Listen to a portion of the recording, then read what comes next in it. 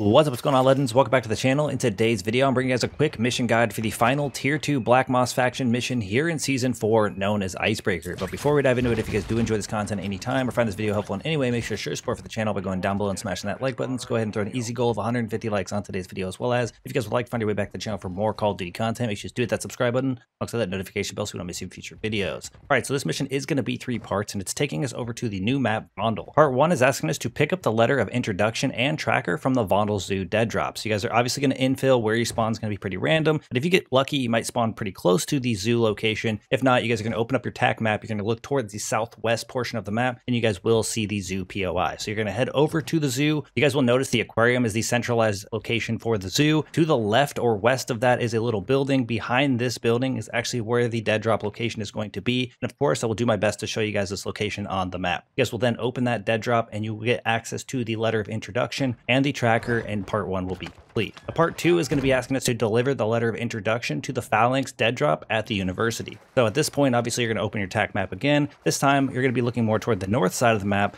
and you're going to want to head over to the university. Now, the building that you're going to be headed to is actually a gas station. It's going to be located between the university itself and the city hall. So you guys are going to head all the way over to the other side of the map. I chose to go through the water, and there's a couple water tunnels that you can go through as well. I was able to get over there pretty safely. Obviously, if the boss is in the area, you're going to want to be careful going through the water. But regardless, however you choose to get to the other side of the map, we'll get there, and then you guys will go over to this gas station location. Now, behind the gas station, between again the university and the city hall, will be the dead drop location, considered the Phalanx dead drop. Then you guys will be able to open this dead drop and place the letter of introduction in, and part two will be complete. Now, part three is just asking us to deliver the tracking device to the same Phalanx dead drop. So again, you guys will already have both of these in your possession. I'm not sure why they chose to do it this way, but basically you're going to open the dead drop and place both items in. So two and three will technically get done at the exact same time. So this is a pretty easy mission as far as going to one location, picking up two items, and going to a single location to drop both of those items off. I think it would have been a little bit more challenging, obviously, if you had to go for part three to a different location, but they chose not to do that. But either way, once you guys dead drop both of these at the location of the Phalanx dead drop near the university,